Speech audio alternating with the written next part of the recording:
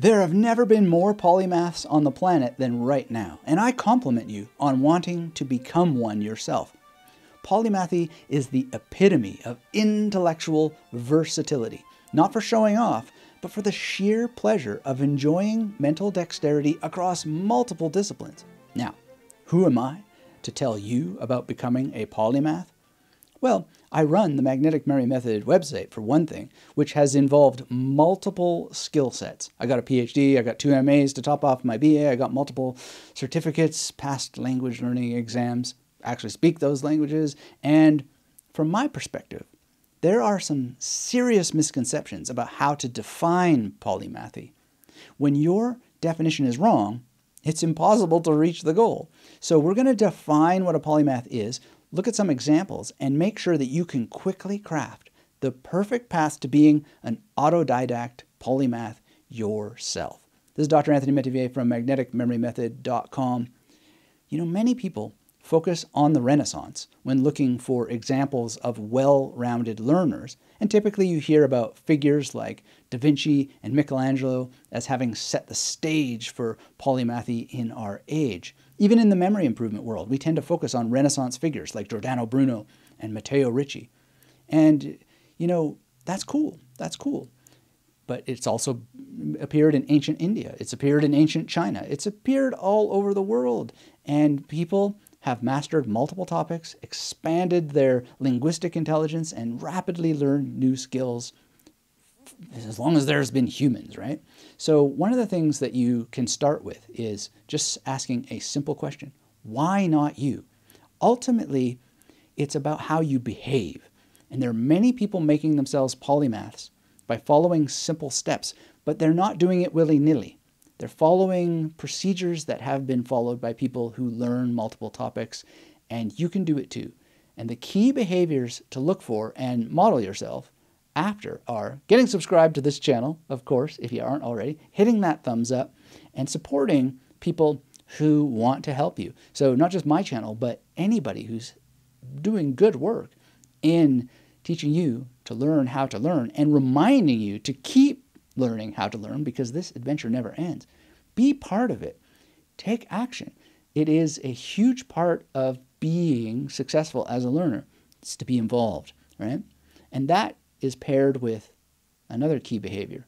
Being involved has to do with also amping up your intellectual curiosity. Now, some people say that curiosity has to be naturally present. You just have to have it. I disagree. There are a lot of things where I'm kind of arrogant and I don't like it about myself, but I have learned to put the brakes on it a lot of the time and then get curious. You can call it manufactured curiosity if you like, but it really helps when you're inclined towards exploring different topics when you can understand and exercise the subconscious mind that is stopping you from being curious. And you can boost your interest in even the most boring topics.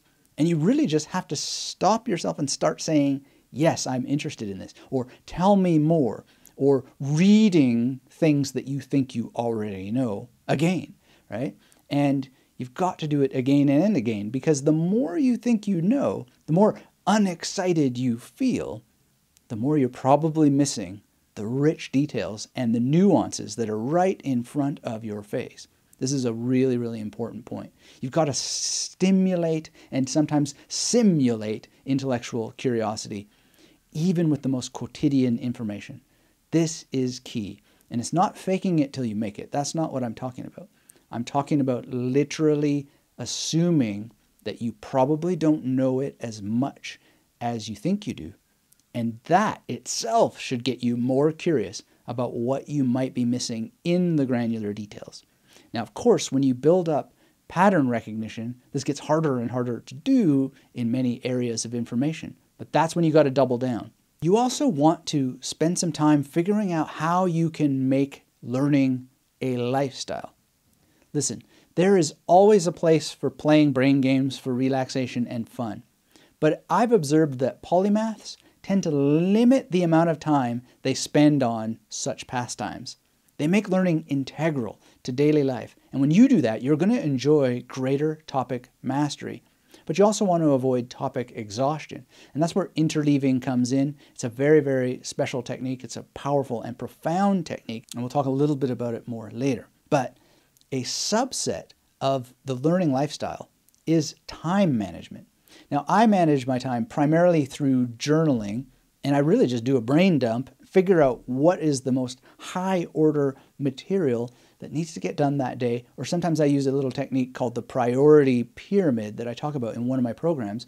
And I just create semesters for myself. I'm going to learn this topic, and so I'm going to spend three months on it. And maybe I'll spend six months or nine months on it. But I think in terms of semesters, and then I take deep dives into these particular topics. For example, I've been designing games. And my game design has been going slower than I thought, but there's just so much more rich information than I thought there was to explore. And the more I explore, the more I think about games, and the better my game design gets. And it just takes time, right? So you've got to make it part of your lifestyle to fit it in. Now, when it comes to just giving the brain a break, one of the things that I do is I do sometimes play these little games, but what I do is I listen to podcasts and I listen to audio programs and I listen to videos while that I am just getting a little bit of relief from sitting at the desk and just do do do do do and then I'm literally not really caring that much about the game because it's just a game but I'm really deeply focused on listening and using memory techniques sometimes to just memorize and encode in real time what people are saying. So it's not like all work, but it's trying to get as much in as possible. And the interleaving effect that we'll talk about later also helps in terms of memory formation because you can skip between different topics, spend all day reading a hard set of books in the library, for example, and then just go and read a different topic you're studying through audio and you're switching between the topics. It's just going to help your brain percolate. It's really, really powerful. Now, you also need to be thinking. And there are several types of thinking that you'll want to explore in order to really speed your journey towards being a polymath. And if you're doing it, you're essentially a polymath anyway. So it's not like there's a destination. You're not going to reach some special place. If you're going to be a polymath, you're always learning. And in order to think, read critical thinking books. On my blog, there's a list of critical thinking books that I recommend. It gets you familiar with what critical thinking is. And from there, you really just have to practice multiple forms of critical thinking. I'm talking about abstract thinking, concrete thinking, independent thinking. And basically, I would recommend learning the memory wheel technique as I've discussed on this channel in different videos. And it's just very, very powerful to use the memory wheel not as a memory palace, but as a means of combinatorial thinking. So, one wheel that you could build if you're into critical thinking is a wheel of critical thinkers. And just using the letters of their names on the wheel, you can think, okay, so what would, you know, uh, Michael Shermer think, for example, about this problem? And that's on your M or your S, however you want to place him on your wheel. And then you would roll that wheel and think, okay, so what would Richard Dawkins' response be? And then you'd say, well, they're uh, too much in agreement. So now you're going to roll your wheel around and you're going to try to find a contrary view, and maybe maybe you come across I don't know Rupert Sheldrake or someone like that, and that gives you an alternative view. Now you don't have to agree with any of these people, and just because you might be more in the Dawkins camp and not the Sheldrake camp doesn't mean that you would dismiss how that the person that someone on your wheel dismisses those things. No, you would actually go through it, go through that potential angle. Because that's what a polymath is, is someone who understands multiple categories of thought and doesn't dismiss it, but actually thinks through it. Even if you ultimately at the end don't agree with it, you know what it is and you think through it so that you can share an experience of the possible conclusion and compare it against the one that you're more favorable to. You would also know eventually in your polymathy journey that your own biases come from memory. So you've got primacy effect, and some of those people that we disagree with in the world, and we can't understand why they would ever have such a different conclusion than we do, is not simply because they've logically thought it out, but they are bound through primacy effect and what is sometimes called implicit memory. And by being willing to go through what they go through in order to arrive at the thoughts that they arrive at, in contrast with how the people you're more biased towards go through those thought processes, not only do you have more understanding, but you have more sympathy, more empathy, and you have more sympathy and empathy for yourself and your own conclusions, and you essentially help yourself avoid dogmatism. And it's really, really important. When I was a university student, there were so many people who were terrified to study the opposing party and so forth because they would be lambasted for even mentioning them. That's not a place that we want to wind up in in our world. We want to be able to tear into as many topics as possible and essentially have debates with each other, but have them in a way that is fair so that we're not just beating other people up. Now, speaking of beating people up, when I was at university, I also remember students who were terrified to take a topic like law because at that time digital books were not very common and there were barely even forums on the internet. And in the law libraries, there were people who tore pages out of textbooks in order to prevent other people from beating them at exams. Now, that's not that much of a problem these days because there are digital books and so forth. But one thing that a polymath needs to remember, and it's why I'm thinking of this example, is that information that's freely available or easier to get on the internet doesn't mean you can get away with skimming or scanning those books. You have to engage with the information substantively, no matter how much it costs or what format it comes in, and you need to know thyself. So if you've noticed that digital books don't serve you, then you need to go to those physical libraries. And if you find in those physical libraries that pages have been torn out, then you need to alert the librarian and ask them to get it replaced. You know, you've got to be engaged in the community, which is the appeal that I gave to you at the beginning to hit that thumbs up, be subscribed to this channel if you aren't already, because there are so many things that go on in the world, and we need libraries. We need them more than ever before, and people just don't say anything. You need to be in communication. And those libraries, they are filled with people who could become your best friend, your best asset, your best ally, because when you've got a question they will be able to help you. It's, not easy to use some of these search strings, uh, Boolean and all that. I mean, I, I trained as a librarian. I've worked in three libraries, and I've got a certificate in the data science for becoming a professional librarian. I never pursued that career in the end, but I studied it, and it can be a lot. It, it was a lot to wrap my head around back then, and it's gotten even more complicated with the internet now. But librarians are incredibly useful people to have on your side. So get into physical books because a lot of us, we're not learning as much as we could because we are going for convenience with digital books and so forth. And it's just not working out for a lot of people. Now, if that's not the case for you, then you know your mileage is going to vary. But I find that I need physical books. I'm just not getting as much out of digital as I do from physical. And it is a greater investment. There's no two ways about it and you have to wait sometimes for books to come through interlibrary loan and all that sort of stuff. But if you schedule your time optimally, well, then you're going to have things to do while you're waiting. Now, another thing that you need to do is be interconnected. Back when I was an undergrad and I was in grad school as well, the students I was with, we went out of our way to organize study groups.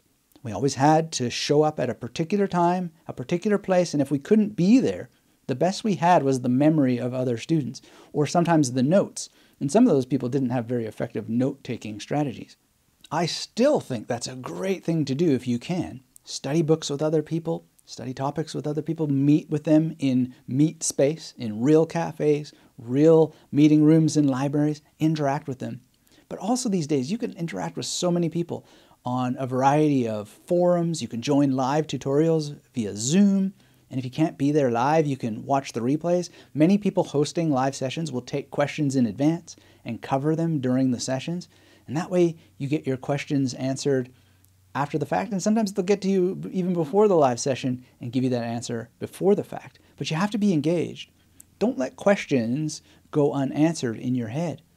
Seek out connection and communicate. And the more you're involved with the more learners that are out there, the more you're going to get multiple angles. And it is very, very powerful to be interconnected. Now, this is going to be a bit controversial, but multitasking, I think, actually gets a bad name a lot of the time. There are exceptions to the rule. I mentioned one of them. I only do it a couple hours a week, but I listen to podcasts while playing very simple games for a little bit of light, but it lets me keep the emphasis on my learning goals while physically resting, letting part of my brain do a couple of things. And it's just very, very good. And it is multitasking. But multitasking is also something that you can practice with memory techniques. So, for example, when I go and memorize the names of 30, 40, 50 people in a room, I am definitely multitasking because I am taking the incoming information of the name that I don't know and I'm using recall rehearsal to get the names that have just come in into long term memory so I can hold them longer, set the basis for holding them for years if that's what I want to do, but definitely hold them long enough to use their names in the demonstration and then throughout the presentation that I'm about to give about memory techniques. And I'm also managing little small talk points that people have said during you know the opening of the meeting or even as they're introducing themselves they'll say their their career or they'll talk about a partner or so on. I mean just as an example i remember memorizing a, a row of names. There was alan and then there was sharon Edward. Edward said he was sitting in for Angela. You know, like I memorize all that stuff. I have to multitask in order to do that. And also, when I'm reading, I have tons of ideas that are coming in all the time for books that I'm writing. That's a kind of multitasking. So I can memorize in real time what those ideas are, although sometimes I just take notes and it really just does not harm at all to have this kind of switching on, switching off. There's a thing called cognitive switching and there's a thing called task switching. And if you actually practice being able to switch between tasks, it is possible that you actually strengthen your brain instead of weakening it. And in order to practice task switching, you need some level of multitasking. So, this idea of focusing on one thing and only one thing, it may have truth for some people, but I think for people who want to become polymaths, you're going to really want to make sure that you're practicing some level of task switching to strengthen your ability to do that. Now, in the memory world and the world of overall mental dexterity, there is a person named Harry Kahne. He made a course called the Multiple Mentality Course. I have a post about that on my blog, which you can search up Harry Kahne, Multiple Mentality, and MagneticMemoryMethod.com if you want to learn more about that. Eventually, maybe I'll make a video about that. Let me know in the comments if you would like to see that sooner than later. Now, let's talk about other aspects here about being a polymath. David Perell, he has been on the podcast. He talks about learning in public. This is, I think, very, very useful, and it can help you practice some multitasking in a way that is positive. And, you know, there's a lot of technical learning and work involved in learning in public. But that's what I've been doing since I started this back in 2012.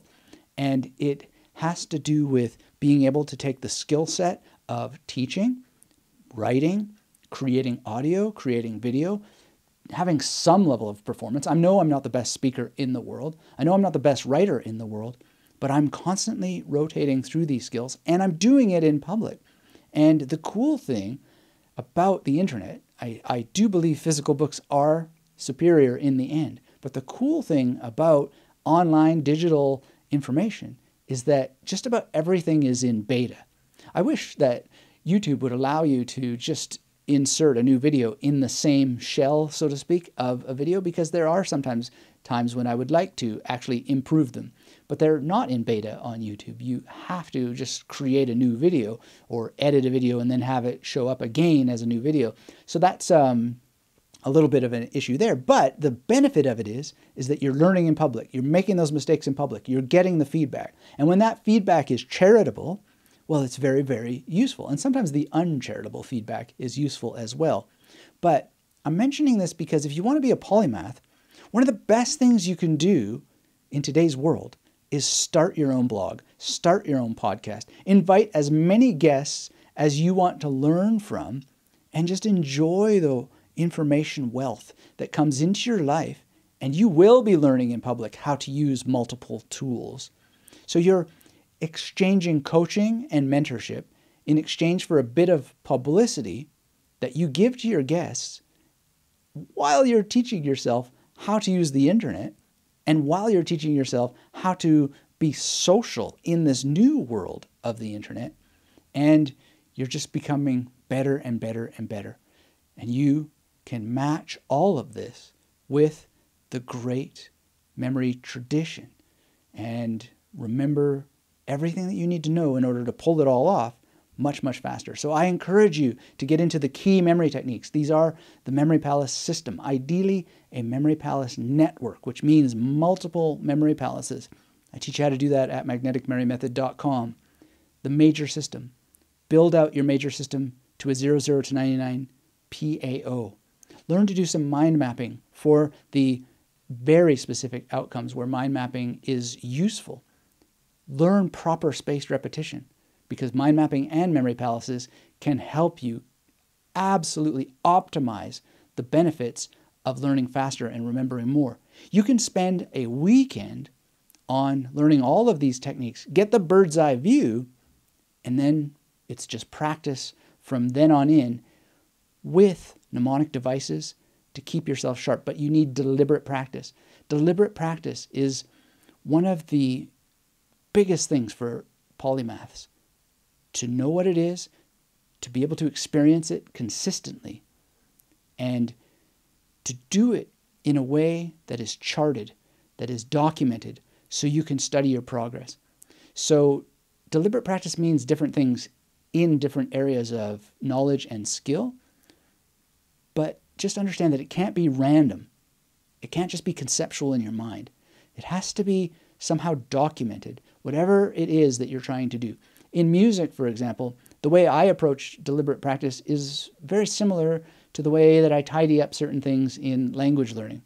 I'm not the best speaker in different languages. I don't have the best pronunciation skills. But one of the ways that I work on it is through this deliberate practice. So in music and in language learning, it's basically the same thing. If you're learning a piece of music and you keep getting hung up on a particular passage, rather than going back to the beginning of the song, deliberate practice would have you loop that one little passage in the song. Then you add that passage with the next bar, and then you loop that. Then you add the bar before the problematic passage, and you loop the previous bar with the problematic bar, and then you go and loop all three. Then you go back to the beginning of the song. In language learning, same thing. Let's say your pronunciation of a word is in the middle of the sentence. Well, instead of just constantly going back to the beginning of the sentence, you work on just that little part of the sentence. Then you do that word and the word after it. Then that word and the word before it. Loop them. Then you do all three words. Loop them. Then you go back to the beginning of the sentence. You can do this with philosophy. Let's say you don't understand what the heck pure immanence is. Well, you've read this one book, now you read the next book you discover that actually pure immanence used to be called something else. So then you go back and read a book that's earlier than the book that you just read. And then you try and work with all three books in your mind to work it out. And then you get what Ezra Pound called the luminous detail. Something about these things finally projects almost holographically an understanding.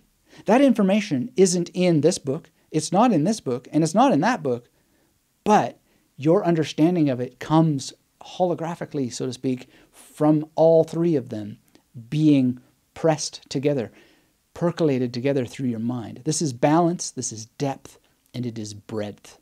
And this is how you become a polymath in multiple topics. And ultimately, that word autodidact, having taught yourself, frankly, that has to go. You have to engage with other experts. This is really, really important because an expert is someone who knows a lot, but they know their limitations.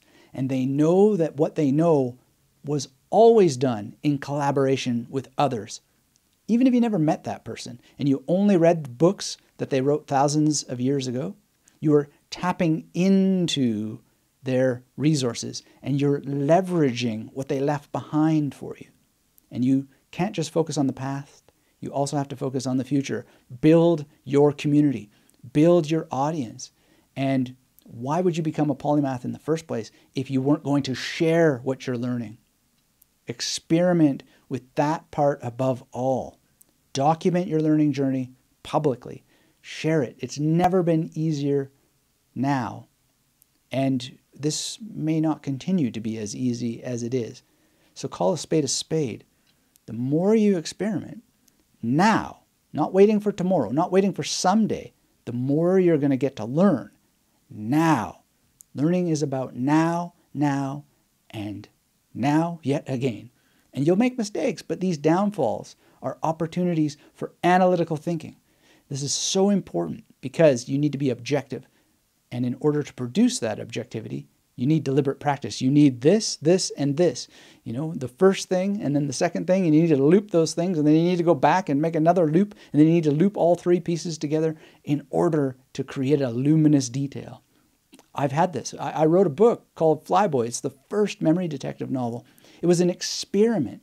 And as part of launching the book, I had to design the book. I got great help from Rob, who's often on our live video launches. He's helped so much, you have no idea. Thank you so much, Rob. But he helped design that book. And then we tested it with releasing it with a live action memory game. There were little mistakes along the way. Even my ego made mistakes. Oh, that ego. I wish it would go away. But you know, we managed, we learned, we used deliberate practice with the ego. Each and every time we had these unexpected results, and they were an opportunity to analyze, to think rationally about what to do next. I learned a lot about games. I learned even more about novels. And then I got the idea of making kids' books, like The Mystery of the Magnetic Numbers.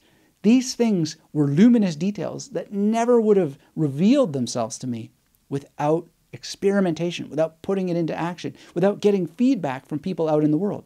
No experimentation, no new learning.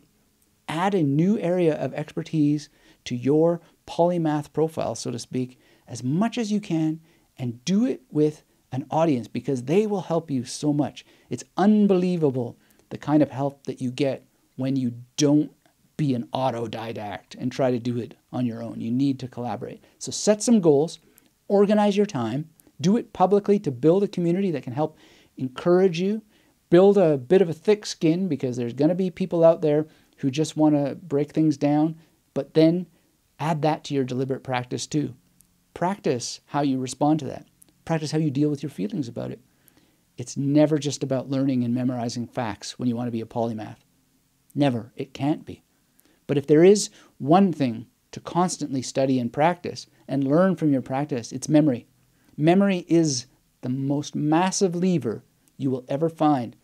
I could be wrong about that, but if you want to find out for yourself, arrive at your own conclusion, go to magneticmemorymethod.com, get involved.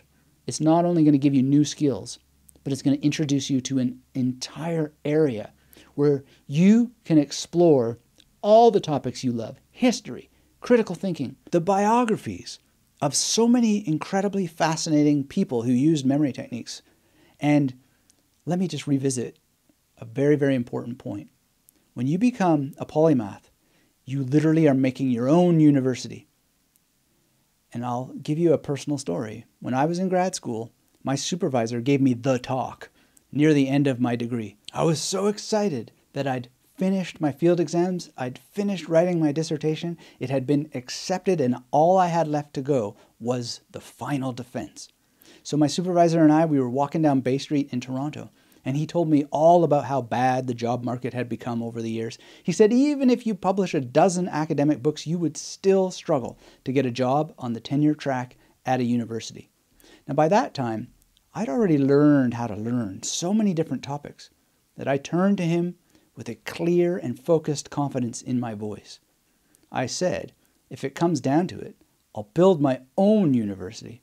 I actually swore when I said it then, but I will uh, keep it family friendly for now. The long story short is that that's exactly what wound up happening. I created magneticmemorymethod.com, which is a university focused on memory and as many things connected to memory as I can possibly imagine. It has multiple departments, like the upcoming critical thinking course Beyond Sherlock, which you can get advance notice for at magneticmemorymethod.com forward slash BY. It was only possible to do all these things by thinking and then most importantly, acting like a polymath. I know that you can do it too. Maybe you don't want to build your own university, but in a way, symbolically, that is what you're doing. And it is a beautiful thing because university has the word universe in it. And isn't that what we all kind of want? Let's be honest. We all want to be like a god in the universe of our mind. So put the strategies we've discussed today into action. Do what it takes to become the architect of your dreams. And you know, you got battles with your ego, so you don't have to be the god in the university of your mind. But no matter how that you structure that metaphor for you, polymathy is the path.